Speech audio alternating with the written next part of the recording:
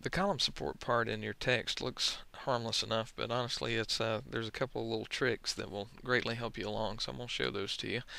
Um, here's what the object looks like uh, when it's complete, and um, that's what we're going to try. We're not going to go through the whole thing. I'm just going to show you uh, uh, different difficulties as I went through that I noticed I wanted to share with you. So uh, I want to create a new sketch on the front plane okay?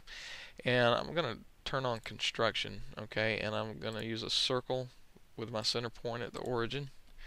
Then I want to dimension that construction cir circle with a diameter of 127 okay? And this is the part that uh, really helped me out when I figured this out. Is use the polygon command with three sides. And from the center point there uh, just draw the polygon straight up or, or the triangle straight up and um, and what we've done is we've located the points where the holes go. Okay? So I'm going to turn off construction now and I'm going to draw a circle.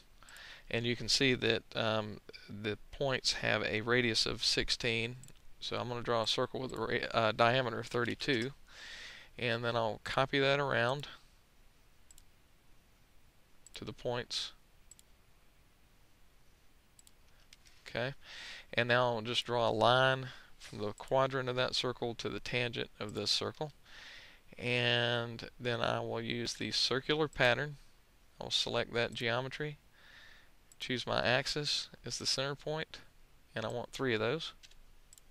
Okay so there you go. Uh, and once you get done with that you can just trim it up and, and go from there. Um, and when you get done your um, your sketch should look like that Okay, so the next uh, uh, thing that was difficult were, were the were the ribs. Okay, so let me show you how to do those.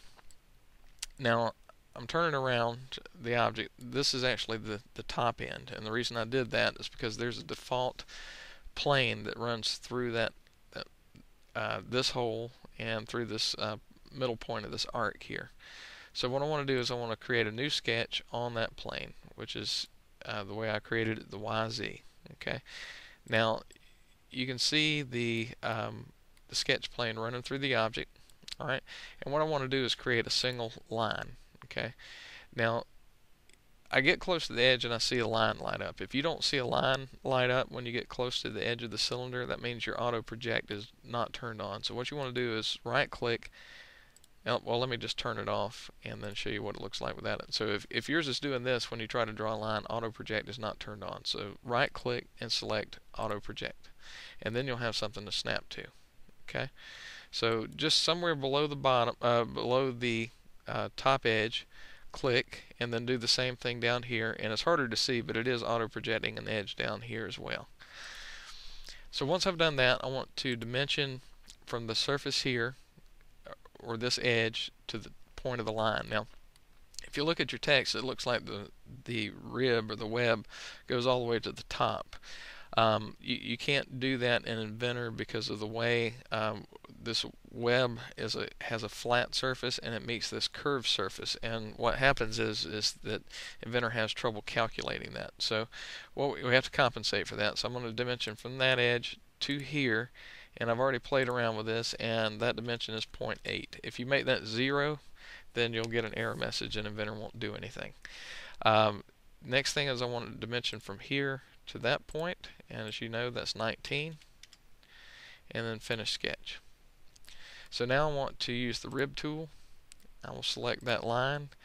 Uh, for some reason my uh, feature preview seems to be toggled incorrectly so you may have to mess around with yours. Um, but we want uh, parallel to sketch plane. If, if, you can't see the preview, toggle that on and off. Um, and and now mine's showing up correctly. Um, maybe I was imagining things before, uh, but but now I'm ready to go. It has a thickness of 10, so I can select OK, and there's my um, there's my rib. Okay, nice and easy. Uh, now I want to array that polar array, basically a circular pattern. I want to click there, select that feature, and then just select the inside of the cylinder as my rotation axis. Change that to 3, and now I have three of them. Okay, just that easy. Okay, so now I have um, make sure this is uh, as it as it was before I was doing my uh, yep my tutorial here.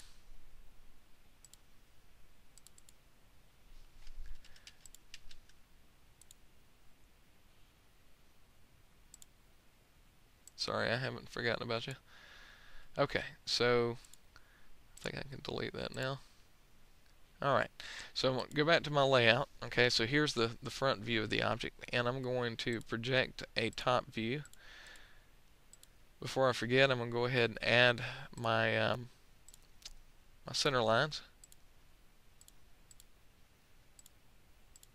And this, um, for this exercise, I want to do a broken out section okay and a broken out section is to just show the basically the detail of a small if as if a small part of the object were cut out and I think what would be helpful to see on this particular object is if uh, so we can see the how the bottom of this hole is shaped okay so let me just um, what I want to do is I want to left click on this view and then select create sketch and then I'll use the line command and I will draw a line these are not supposed to be straight. I'm intentionally drawing it jagged. Okay. Then I'm going to go outside the object and then go back to the beginning. Okay. Once I've done that, I'll select Finish Sketch. And now I have that um, little jagged area. Okay. Now I need to go back to Place Views and select um, Breakout. Okay. Once I've done that, I'll select the view again and then you can see that sketch that I drew previously highlight okay now I need to tell it how deep I want to cut okay um, and I need to define it from a point on the object and probably the easiest thing to do is to just don't pick this point here but pick close to the edge uh, close to the center I mean just right there. Uh, remember that point is basically this point on the front view okay? And the distance from here back to this hole is approximately 70 okay? That'll get us back in here to this this area so we can see what the bottom of the hole looks like. So let's uh, let's click OK. And you can see that we have uh, created a broken out section okay um, sometimes uh, you may want to um, turn off um, hidden lines. Uh, we're going to go ahead and leave these here. But if you ever want to do that, you can click on the line, right click, and uncheck visibility. Uh, sometimes that's preferred. Sometimes you just leave them turned on. But uh, for this exercise, I'm just going to leave this one turned on.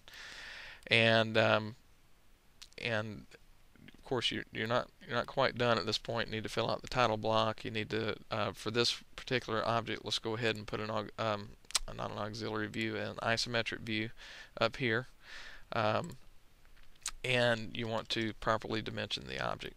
Um, so that concludes uh, this video.